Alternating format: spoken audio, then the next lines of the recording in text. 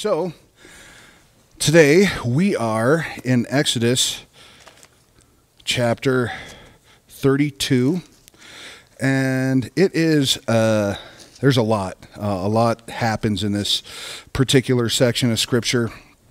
And so uh, there's there's a lot to look at. A lot a lot can be gleaned from this. So let me pray, and we'll get started. Father God, uh, I thank you for your word. Uh, thank you for uh, just the ability to be here. Lord, I pray that you would uh, help me speak correctly, Lord, that uh, you would prepare each heart for what you have, and Lord, that we would uh, just be blessed by what you have to teach us today. In Jesus' name, amen. So, the where we're at in the whole progression of things, if I can bring you up to speed on what's happening, uh, if you remember, Moses is on the mountain and he's gotten what we've talked about uh, in the past few Sundays. And what's happening there is he's gotten all the instructions for the making of the tabernacle. And so, if you remember also that Moses has not just been on the mountain once, he's been up and down. So, we are looking at a period of time which he's in his sixth ascent up the mountain. And so, if you remember what, what has happened before, is the children of Israel uh, in chapter 19, God says, I want you to be my people. I want you to be a royal priesthood. They say, Yes, we want that. So the Lord comes up, uh, or Moses goes up, and he talks to the Lord, and he gets the Ten Commandments. He doesn't have them on the tablets yet, but in both instances, in chapter 19 and chapter 20, he says, Yes, we want this. We will do everything that you say. And then when he goes back up, uh, this the sixth ascent, he's in uh, what we see is Acts chapter 24, verse 1. Uh, Moses is summoned again to the top of Mount Sinai, and at this time he's supposed to bring Aaron and his sons, Nadab and Abihu, and the 70 elders. And the next morning, Moses built an altar at the foot of the mountain and set up 12 pillars representing the 12 tribes of Israel. And then he burnt burnt offerings for the fellowship offer, offerings and read the book of the covenant to the people, who responded, We will do everything that the Lord has said said, and we will obey. This is in verse 7, chapter 19. To ratify the covenant, Moses sprinkled the people with the blood of the sacrifice. And after that ceremony, ceremony Moses, Aaron, and uh, Nadab and Abihu and the elders ascended the mountain and they saw the God of Israel under the feet, uh, like something like pavement, which is lapis lazuli, bright blue sky. And this is still in Exodus 24. And God allows these men to live, even though they've got a glimpse of heaven. And so then God continues, com- commands Moses to come up to the top of the Mount Sinai in order to receive the stone tablets. So, so the rest of the elders are further down, and then Moses goes up with Joshua, takes Joshua with him. So this kind of is where Moses, so the last chapter 24 and on, this is where Moses has been up on the mountain. So all the instructions we've heard for the last chapters uh, have been uh, basically Moses on the mountain, and the kids are left unattended down there. But it would appear that at some point that Aaron went uh, down the mountain, and he's there with the children of Israel. And so, this is this is the beginning of uh, what happens here in chapter 32, and and so we're going to look at this this section first. So this is 32, starting in verse one. When the people saw that Moses delayed in coming from the mountain, they gathered around Aaron and said to him, "Make for us gods, for whom will go before us, because this Moses, the man you brought up from the mountain, from the land." Brought us up from the land of Egypt. We don't know what has happened to him. And Aaron replied to them, Take off your gold rings that are in your ears of your wives and your sons and your daughters, and bring them to me. So all the people took off their rings that were in their ears and brought them to Aaron. And he took the gold from them and fashioned with an engraving tool and made it into the image of a calf. And they said, Israel, these are your gods who brought you up from the land of Egypt. And when Aaron saw this, he built an altar in front of it and made an announcement that there will be a festival to the Lord tomorrow. Early the next morning, they rose and offered burnt offerings and presented fellowship offerings, and the people sat down and drank, and then they got up to party. I got some questions. That's the first thing when I was looking at this. I was like, I have some questions. What happened? What happened to this guy? What what happened? What happened to these people? What happened to Aaron? What what? How did how did this all get going? So so you got to call into call in what's happening with the people, what's happening with Aaron's leadership, what is their understanding of what happened uh, with God after everything He's shown them? And how did how did they get to this place right? And so some stuff in the language that that now and i'm not not making excuses but i'm going to go through some reasons and the reason for going through the reasons is that we probably ought to take a look at what the reasons they had for for how they acted so we can avoid those reasons so just thinking about the people, why would they gather around Aaron and say, We don't know what happened to Moses, right?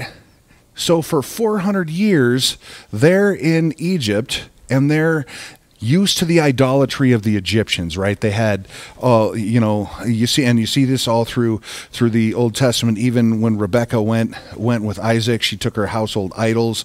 So idolatry is not new but they're used to this idolatry where they had images that they could control, they had images that they could see. So when, even though that the children of Israel have seen all 10 plagues, they lived through that, they've seen him rescue them. Uh, first, he provided water for them, then, he gave them manna in the wilderness. And then he rescued him from the Dead Sea, and now he's brought him out here, and they're doing all this worship, and they can still see the cloud with the fire and stuff on Mount Sinai, right? But they're looking for a replacement, and sometimes in their thinking, I think, is, well, we haven't seen Moses in a while. We need another leader. And so we want to make one that is in an image that we can understand, and part of that is their their they're thinking, with all that idolatry, is that we can make a God for which we can control. Idolatry is about control, right? And and just think about this. They're breaking all the commands because they've seen on paper the Ten Commandments, right? I'm the Lord your God. It starts in chapter 20. I am the Lord your God who brought you out of the land of Egypt. That's how he starts the Ten Commandments. And he says, You shall have no other gods before me. You shall not make a make an idol or a graven image or anything in the shape of heavens, and you shall not misuse the name of the Lord. So when they come and they want a replacement for Moses, they're rejecting the Lord who brought them out of Egypt because they want to make a God that's for them. They uh, are making another God. They think they're having a replacement God, but anytime you have a replacement God, you're having another gods beside them. They're making a graven image, right? And then when they pray to it, they're taking the Lord's name in vain. They are three for three on crashing the Ten Commandments that they just decided that they were gonna that they were gonna have. And look at how quickly this escalates. I don't know how long it is from the time where they come to Aaron and say we want to worship another god to the time that he's graving this thing and they're having they're having a party down there. But Moses up on, only on the hill for uh, on the mountain for 40 days right? So somewhere in there they had to do it. I don't know how many takes it does to do that. So let's just say that Moses is gone for a full month 30 days. And then at thir- day 31 they come to Moses. Man 30 days it took for them to get to full idolatry or back to their reset they really didn't sit down and think about what has the Lord done for me? What has the Lord required? They went to their idolatrous reset, right? There's a difference between having it happen in your mind and maybe an experience to really being in God's word and the people around them, right? So the people are off base in this idolatry. And so they come to a leader and and they gathered around Aaron and some of the versions say that they implored of him, "Come, make for us gods who will go before us, because this man that you brought from e- from the land of Egypt, we don't know what to happen to him." And so Aaron's immediate reply is to to bring me stuff to make an idol. Now, you can look at this leadership too of Aaron, all right? He's been here for the whole thing. He was there even back, way back when, after Moses uh, at the burning bush, and he saw the miracle with the staff, and he was talking to that. This is a guy that should know better. He's in leadership.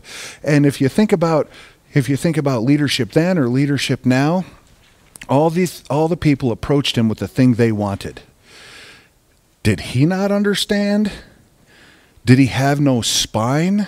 Was he afraid to oppose the people? right? And so, because Aaron's reaction should have been right then, should have been, you guys need to repent. One through three, you're breaking just in asking me the question. Go away and inquire of the Lord that you may not fall into this sin, and I'll pray for you. That should have been his response, right? But obviously, there's a flaw in his faith or his leadership, and he just says, hey, go do what you want. And there's a reality that in in the church this is a thing that happens. I have seen churches leave the scripture for what's going on in society. The most recent thing i heard of is that the church of england just just said that they're going to bless same-sex marriages. We're not going to we're not going to have them but we're going to bless them. Well they've left the they've left the biblical script. And you can see a lot of the liberal churches they have left the script because people are like well we need to be relevant for the culture we don't need to be relevant. We need to be godly. We need to be holy. So instead of standing up like a leader should, or even if he doesn't have a spine, say, let's just wait and see what happened to Moses. You know, there's a cloud right there. Maybe I'll go up the hill and check.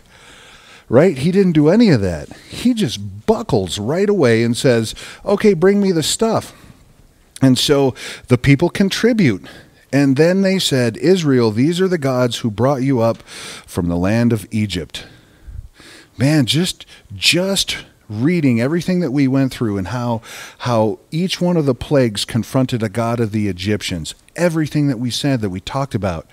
How can they actually look at this thing and say, "This is the guy you brought up"? Well, this is this is the same thing. All this goes back right back to Genesis Genesis 3, right? They're in the garden, Adam and Eve, and the snake says, "Did God really say?" Did God really say?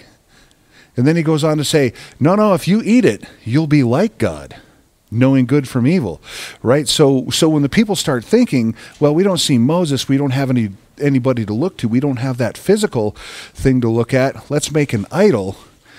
And what the, what what has happened there is, did God really bring us out of did God really bring us out?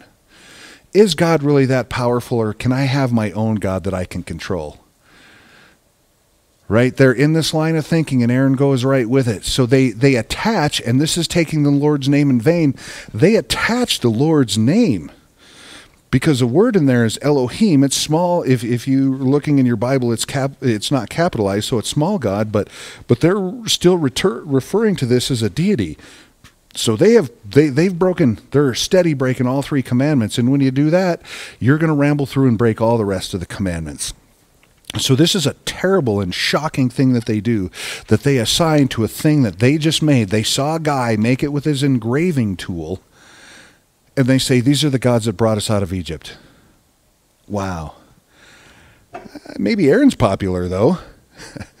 so so when he said that I, I think that it's just again it's bad leadership. What so when he saw this right again he's not steering him in the right direction. He's seeing their reaction. Oh, I'm popular. This is cool. I'm part of a movement. He built an altar in front of it and made it uh, uh, an announcement. There'll be a festival tomorrow early in the morning and they rose and made burnt offerings and presented a fellowship offerings and people sat down and drank and got up to party. So they even offer offerings to this. So moses is on the hill and he's getting how this offering is supposed to go the steps where you're supposed to wash and cleanse yourself and offer an offering and then enter into his holiness right? That's the setup of the tabernacle and right away. They just make offerings to a God. So this offering thing that God is instituting is probably not a thing that's culturally uh, uh, new, but He's putting in a way that's godly, right? Or God had established it somewhere in the past, just doesn't tell us, and they're offering offerings to God and then they uh, they eat they eat the offering and then they get up to party. And so everything i read tells me that this is quite a party. All the things at a party. And there's some in, that, that that it was uh, basically a, a, big party a giant orgy. A lot of the so the the calf represents um, uh, represents a god that was probably a Canaanite god, and there was their practices did have a sexual component. You see this all through the New Testament, where Paul is in Corinthians. This is not a new thing either, right? And so this is this is not just just a little party where people it's not a cocktail party, right? Where people are just having conversations and and hanging out and having having some uh what is that charcuterie and cocktails and just having a nice nice evening. This is a this is a full on this is it's debased. So this is in full swing, full stop. And so then it switches and and now you're on now remember Moses is up there uh 40 days and he uh, he's talking to God. He's getting uh, what we ended up with at the end of 31 that that he has uh, uh he's provided craftsmen. He's observing, talking about the Sabbath. Then he has given the two stone tablets, and then the scene switches to what we just covered, and now back on the mountain and so the Lord says in verse 7 the Lord spoke to Moses, Go down at once, for the people that you brought up from the land of Egypt have acted corruptly and have quickly turned from uh, the way I commanded them, and they have made themselves an image of a calf, and they have bowed down to it to sacrifice to it, and said, Israel, uh, uh, and it, Israel, these are your gods who you brought you out of the land of Egypt. And the Lord also said to Moses, I have seen this people, and they are a stiff necked people.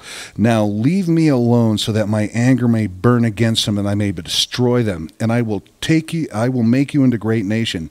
But Moses sought favor of the Lord his God. Lord, why does your anger burn against your people? You brought them out of the land of Egypt with great power and sta- uh, a strong hand.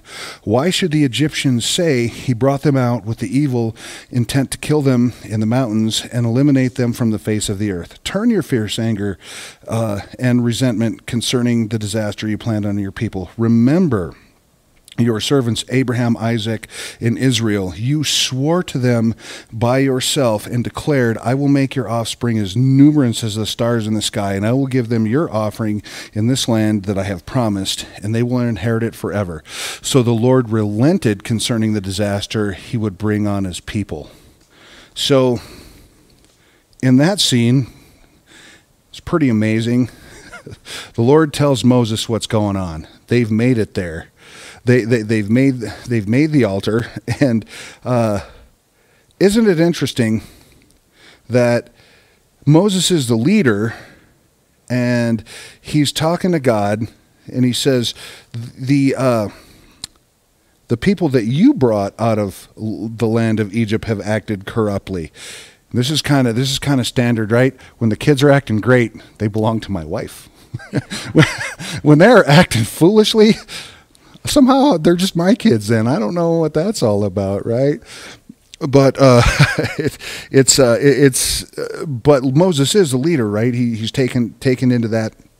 So uh, they're a stiff necked people, and now leave me alone so that my anger may burn against them, and I will destroy them and make you a great nation. So remember, you hear this this term stiff necked people uh, not only this is not the only time you hear it in the Bible. Uh, most recently going through Acts, Stephen gives this this defense of the faith and he calls them stiff-necked people. And this is the thing that gets them stoned. They've been called this before, right? And if you think about stiff-necked people, they just won't just think about reining a horse. I don't know if you got how many people in here ride, but just think about this. The the thing I get is I was a teenager and we were riding with some friends that had a horse and they had this paint horse and this was a stub this was this was a horse uh, in a mule's body or a mule in a horse's body, however that works. And that horse just would not pay attention. So I'm single reining this horse and I have it wrapped around my hand, and I'm pulling this horse's head, and his his neck. He's kept his neck straight, but his head is down, and he's still going the direction that he wants. He will not turn right, right? Like you're not supposed to single rein a horse, you're not supposed to do all that, but he was to set and what, what am i going to do? It's a 1200 pound animal. And so it just they're just set on what they're going to do. So when he says stiff necked it just means that you're going to they're going to go their own way. They're going to make their own decision at any cost you know uh, consequences aside they they don't care right? So so when god says this they won't be taught, they won't be led, that none of that sort of stuff. So this is a pretty serious allegation that the Lord puts against him, right? And that's probably why Stephen, among other things that he said, I mean, he was proclaiming the gospel and they didn't like that because they like their law, but that's what really set him off. And God says, uh, Now leave me alone, so my anger can burn and destroy them, and I will make you a great nation. The Lord is well within his right to do this. He could have just rained down fire on those people and crushed them and started over with Moses, right? But it's interesting what happens there that he starts then, but Moses sought favor in the Lord. So here we have this beautiful picture of intercessory prayer.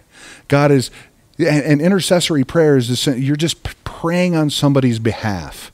And I want to preface this with the the Moses says, "Why does your anger burn against your people?" And he goes through, "Why would you destroy them after you've brought them out with your strong hand? And why would you be a laughing stock after the Egyptians would say, "Well, he did all this to us just to go out there and smoke his own people," right? Because there would be shame. There would be shame in that for God to do that uh, according to the human shame anyway, and you swore to your descend- uh, my descendants Abraham, Isaac, and Jacob. So I want to make it clear that God is not duplicitous. God is not um, like I'm I'm mad and Moses really convinced him. There's an interplay here that I think is extremely important for us. God is well within his right to say, This is the consequence that these people could suffer. We made a covenant, they broke it. And it, just like any contract, if, if, you know, and we see this in America, any contract, if one person in the uh, contract breaks a contract, then the contract is broken, right? God's well within his right.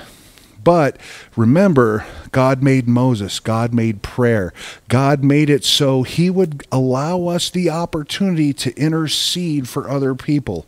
So when God is doing this, He's giving Moses an opportunity to show who He is a leader, who He is as a leader, and intercede for His people because when Moses does this, his make this he makes this argument, God relented from the disaster that he had said he would bring on the people. God didn't have to do that. He didn't have to live to, he didn't have to listen to Moses, but he wanted to make sure that if he made these people, remember he made us for relationship with him back in the garden. That relationship got broken when Adam and Eve sinned. It's still broken, but God is restoring that in every move towards Jesus and because we are made in his image, he's he's our um, we are his people and Moses is his leader, he allows him to intercede because God is good. Moses is a type of Jesus. Moses is no savior, he's a leader. But we see in this picture that a man, if approaching God the right way, can speak to God and intercede for another human being. That's why we pray for each other. That's why it's so important when we have things going on in our lives that we have this fellowship, that we pray for one another and we intercede for healing and we intercede for strength and we intercede for, for holiness and all that sort of stuff. Because through this picture, we know that God has the right, because we're sinners, to just say, nope, you're fired, right? Literally. Like we talked a little bit about uh, Nadab and Abihu at the tent of uh, at, the tent of uh, uh, at the tent of meeting, where where they get destroyed by fire for offering strange fire. Look, God doesn't have to listen to us, but He wants to, and in His will, He operates in a way when we intercede through his grace. So you see you see God's righteousness and his justice, you see intercession and you see God's grace right? And and and it's kind of hard to think about that in human terms because it does seem like God's duplicitous, but He allows this so we know that God will hear our prayers and He will answer. So how cool is that? So in the interplay, then what happens now is after he said this, the Lord relented. How good is that for uh, for the children of Israel? And I would imagine, I, I, don't know who's interceded for me, but there's probably situations in my life, especially when I was a younger man, that. Uh, man, I think a lot of prayers probably saved me from a lot of disaster in my life. How beautiful is that? But now what we see is that the Lord did relent, and going on in verse 15, then Moses turned and went down the mountain with the two tables of the testimony in his hands, and they were inscribed on both sides, front and back, and the tablets were a work of God, and the writing was God's writing engraved on the tablets. And Joshua heard the sound of the people, and they shouted, and he said, Moses, this is a sound of war in the camp. But Moses replied, This is not the sound of victory, this is not the cry of defeat. What I hear is the sound of singing. And as they approached the camp, he saw the calf and the dancing, and Moses became enraged and threw the tablets out of his hand, uh, smashing them at the base of the mountain. And then he took the calf and made uh, uh, they had made burnt it up ground it into powder uh, scattered it in the water and put it over the surface of the water and forced the israelites to drink the water. Moses said to aaron what did these people do that you have led them into such great sin don't be enraged, my lord, Aaron replied. You yourself know that the people are intent on evil. They said to me, Make gods for us who will go before us, uh, because this Moses, this man you brought out from the land of Egypt, we do not know what happened to him. So I said to them, Whoever has gold, bring it off and give it to me. And I threw it into the fire, and out came this calf. Wow.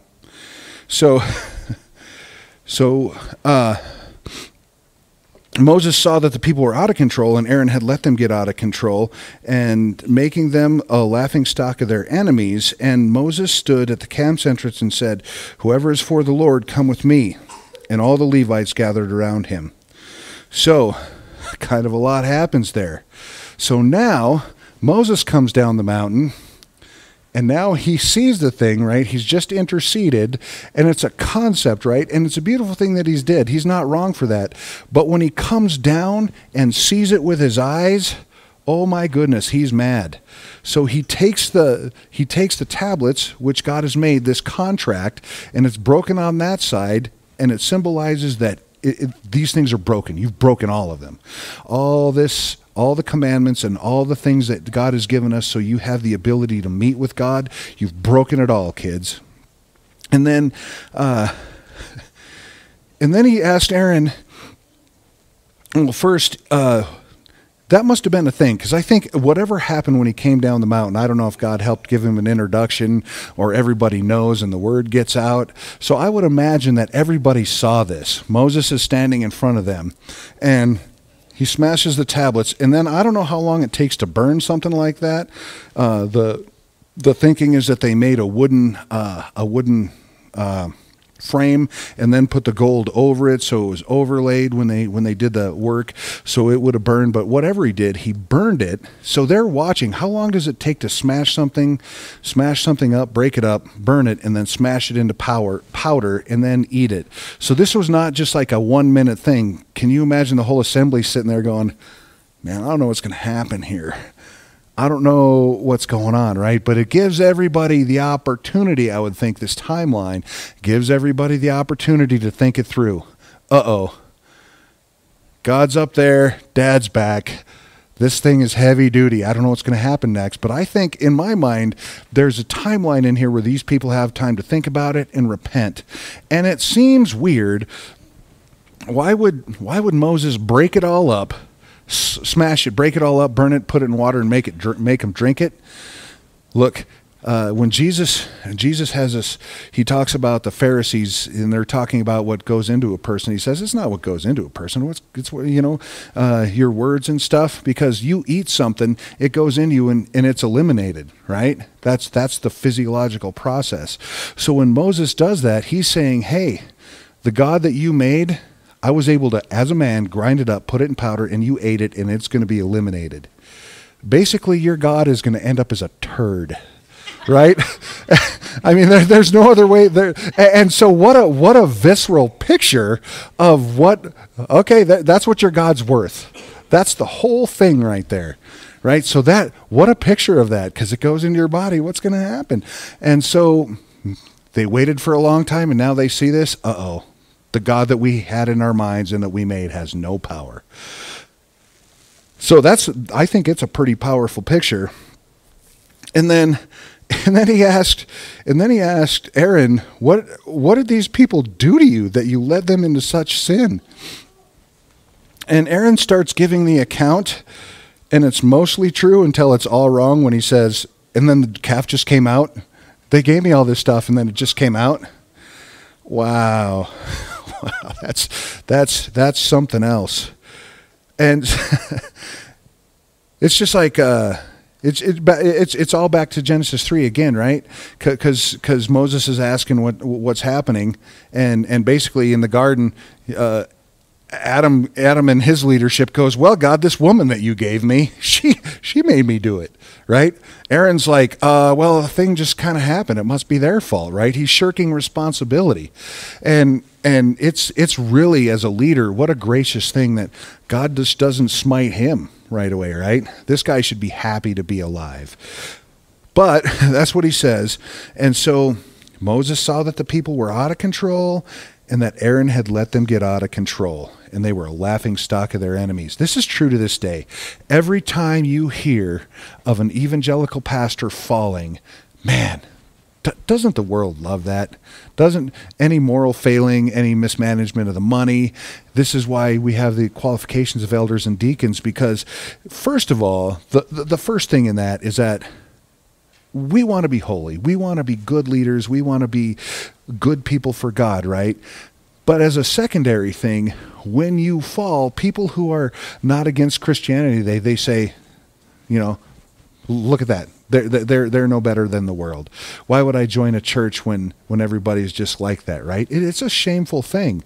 And so we can't go around worrying what the world thinks. If we're following God and doing what is required by God, we never have to worry about what the world thinks. But there's an element of the way we live. Our holiness should first be to God but then understanding the world around us that there's there's reason and protection in that from from the wiles of the world looking at us like we're a bunch of fools and so uh, when Moses says that, he's not wrong. He's 100% right. And so so then he makes this call, right? They've had time. I don't know what the timeline past is, but remember, it's important that they took time to do that. So when Moses here uh, in verse 26 says, who is, who is ever for the Lord come with me? And the Levites gather around them. And he told them, This is what the Lord God of Israel says Every man fasten on his sword uh, uh, sword uh, on his side and go back and forth through the camp uh, from entrance to entrance, and each of you kill his brother, his friend, his neighbor. And the Levites did. Uh, uh, did as the Lord commanded, commanded, and about three thousand men fell on that day among the people. And afterwards, Moses said, Today you have dedicated to the Lord, since men went against his, uh, his son, his brother, and therefore you have brought a blessing on yourselves today. Now, this is pretty tough because this is kind of savagery, right? What kind of savagery is this? What kind of savage God is God, right? When I read through this, you know, preparing, I'd read through it before, but that was when at the beginning I got questions. Why would God be like this? But he's set it up. There's been a clear distinction. He's given time. Well, Moses was breaking down this calf. Well, Moses was burning. Well, Moses was putting it in the water. And then when Moses says, Who's with us? He's given time for everybody to choose whether they want the Lord or whether they want to reject the Lord. And it would be clear, and you see this time and other places going forward in, in, in the Old Testament where God has people killed in in Israel and people outside of Israel because they have fully rejected God. They're going to go to a Christless eternity because they've chosen that. God is just hastening the timeline. And and he's doing that partly out of protection for the other people. Just think about this. In in the book of Timothy he says, "Hey, this this bad doctrine can spread like gangrene." Just imagine if you get a cut on your foot and it gets infected, and then you have gangrene running up your leg. Your foot is gangrenous, the lines are running up your leg, and you can make a choice. You can you can lose your leg or you can die because the gangrene is going to spread through your entire body. And so most of us would be like, well, I don't want to be one legged, but I'm going to cut my leg off so I can live, right? Because it's a horrible, painful, disgusting death when the gangrene runs through your body, right? It's not a pretty thing. That's what sin is. That's what sin does, right? Uh, and he's even talking about it in the festival that that take all the yeast that that that represents sin out of the bread because a little leaven lo- uh, uh, leavens the whole lump. And so when you think about it in that term, what's happened here is these 3,000 people have made a clear choice that they have rejected the Lord. And if they're if they're allowed to remain, you know what's going to happen? Just like it did before the golden calf, it's going to get gangrenous, and the sin and the idolatry is going to spread throughout the camp, and the children of Israel are going to be destroyed by their own sin. So God puts a stop to it. They had the ability to choose, right? The problem is not in God um, executing his executing these people. The problem is that they rejected God as hard as that is to swallow, that's the whole deal. Because even in Philippians, it tells us, hey, look, at the name of Christ, every knee will bow, whether you believe in Jesus, whether you don't. And you can do it, you can do it by compulsion or you can do it by grace. It's going to happen one way or the other. So, as hard of a pill as that is to swallow, these people have rejected, and he's protected the other people from the idolatry that they will bring in. We've seen it firsthand right here what happens with that. And so then, and that had to be hard for those guys, right? Because they they went from being idolatrous to hey, we got to we got to make a stand. But if you're going to make a stand, once you make the decision, you got to make a stand. You got to make it right away. And then, so uh, he says to them afterwards, Today you have been dedicated to the Lord, for each man went against his son, his brother. Therefore, you have brought a blessing on yourselves today. And then the following day, Moses said to the people, You have committed grave sin. Now I will go up to the Lord, and perhaps I will be able to atone for your sin. And Moses returned to the Lord and said, Oh, these people have committed a grave sin, and they have made a gold for themselves. And now, if you would only forgive their sin, but if not, uh, erase me from the book which you have written. And so, uh, the Lord replies to him, the Lord replied to Moses, Whoever sinned against me, I will erase from my book. Now go and lead the people to the place that I told you, and see, my angel will go before you.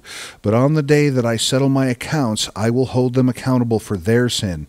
And the Lord inflicted a plague on the people for they, uh, for what they did uh, with the calf and Aaron, that Aaron had made. So again, we see Moses then goes back up. I'm going to go back up. So that would be his seventh ascent to the mountain to talk to God. That maybe perhaps I would be able to atone for your sin. Here is Moses after all this, still trying to intercede for his people. He's going to do it. And he, he acknowledges, he, he makes this commission or uh, confession that the people have sinned. I have seen these people sin. And this is a public confession for them, right? You see this in Isaiah. Isaiah 6 says, I'm, I'm a man of unclean lips amongst a people of unclean lips. And so he's confessed before the Lord that he, he is a leader that, that knows that. And now, uh, if you'd only forgive their sins, but if not, erase me from your book that I have uh, that you have written. So and in uh, in the original text and in some of the Bibles, you'll see that uh, if you would only forgive their sin.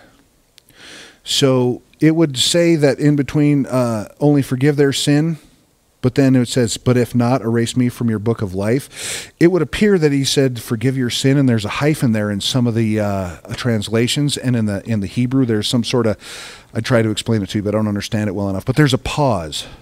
So it would seem from the text that Moses said that, and there's a pause. We don't know how long. How long did Moses silently wait before the Lord? How long did he sit there and wait for the, the Lord's reply? If you would only forgive their sin. If you would only forgive their sin and then wait. We don't know, but it's interesting that that's that's in the text. But he, but then after whatever pause it was, but if not, please erase them. Uh, please erase me from the book that you have written. And so look at how you see Paul do a similar thing when he talks about his brothers. He says, Lord, if you would just give them salvation, I, I, I will give up mine. And uh, those two guys have a bigger faith than I do because, as much as I want to see people come to the Lord, as much as I want to evangelize, and as much as I want to see everybody who I know come to the saving knowledge of grace so they can be in heaven, I don't know that I'm in a place in my faith that I would give that up for for for another person, right? Because I, I, I feel like I feel like hell's a bad place, and I, I have a great relationship with God, and I don't want to give that up for another person. And so, good on him for his love for his people. This is why he's such a good intercessor, I think. But in the Lord's answer, the Lord says, "Who's ever sinned against me, I will erase from my book." So what he's saying there, he he gives it back to the individual. Whoever has not believed in me and made that confession. In the Old Testament, it was your belief that Jesus was coming. For us, it's we believe that Jesus has come and we're looking for heaven. Whoever has made that sin, who's ever sinned against me and not received my forgiveness, well, they're not going to be in the Lamb's Book of Life. That's pretty clear. So even though Moses is interceding on that, it's a step too far, and the Lord puts it back, again, like I said, on the individual. Everybody who's not made that confession, they're not in the book. They're not coming to heaven. So although Moses is great at that and he's he's a good leader, he, he can't make that, and God makes it clear. You have to be an individual who has my forgiveness. And the nice thing about that, we talk about this all the time. Forgiveness is easy, right? Romans 10:9. If you realize that you're a sinner and need forgiveness, if you confess with your mouth that Jesus is Lord and believe in your heart that God raised him from the dead, you will be saved. You will be written in his book, not left out. That's how that's just how it is. Now, he's given Moses his answer and he says, "Go lead my people to the place that I've told you about." Uh, and see, I will send my angel before you, but on that day, I, when I settle my accounts, I will hold them accountable for their sin. And he, uh, the Lord, uh, inflicted a plague on the people for what they did uh, with the calf that Aaron had made. So, it just tells us at the end, God's going to settle his accounts. And we can hope and pray that a lot of those people did see and receive the forgiveness of the Lord, right? But uh, you know that's up for the individual to choose. But here's here's here's the distinction that that we have to see here, because sometimes we do things in life and we receive God's forgiveness, right? I don't know if you guys have ever had this where you've had a situation where you receive God's forgiveness, but there's still a natural consequence. The natural consequence is you guys all need a reminder. Everybody who rejected me is now gone, but you guys need to know that there's a natural consequence. Whatever the plague was, they, and I'm sure that they knew that it was for that particular purpose. So we can think about that anything in our lives, right? I'm not paying attention one day and I get a speeding ticket. Oops, I feel bad about that. I didn't mean to speed. And even though I've gotten forgiveness, I still got to go to the courthouse and pay the ticket, right? There's natural consequences for everything, good and bad. And so that's just what happened here that, hey, there, here's your natural consequence. At the end of the day, here's what happened. So but God doesn't leave his people. The awesome thing about that is God doesn't leave his people and Moses doesn't punch out. So next time when we start in Exodus 33, we're going to see we're going to see how God continues to lead his people because he's also given them a promise that he's going to send his angel before them and he's still going to take them into the land. He still loves them. He still cares for them despite what he had to do with the people who rejected him and the natural consequences. God is loving his people. God is leading his people because he loves us and he wants to have a relationship for us. And he's got great plans for him uh, for moses and for all the people just like he does for us. He has great plans. So if you find yourself in a spot where man my life is kind of a disaster or you find yourself with another believer my life is in a disaster you can assure them hey look there might be a tough moment here right but God is still going to lead you to the land that He has. He still has purpose for you here on earth, and He has great purpose for you taking you to heaven. So, here and in heaven, God is still with you. That's the picture we get. So, there's a lot here in chapter 32, but a lot of takeaways for us these days. But I think the biggest takeaway is that um, God is holy. We sin. God addresses that sin, but He still forgives us. He still leads us, and He still has purpose for us. Amen? Father God, uh, thank you for everything you teach us through your word. And Lord, uh, uh, sometimes it's a hard pill to swallow, and it's a head scratcher, uh, especially when I get started and asking the questions, Lord. But I just, I, I just love it that uh, that you have purpose for everything, that you make it clear, Lord. I pray that each one of us would uh, just look at our lives and uh, and ask you, Lord, are are there idols in my life that I need to take out, Lord? and, and, we know that you're faithful to do that, and Lord, when when we do it by will, it, it's just easier than when we have to do it by compulsion. But I pray that each one of us would do that, that you would, uh, because of that, draw us closer to you in relationship and to one another. And Lord, that uh, we would just know that being close to you and holy is, is just good and right. Lord, we thank you and we praise you. In Jesus' name, amen.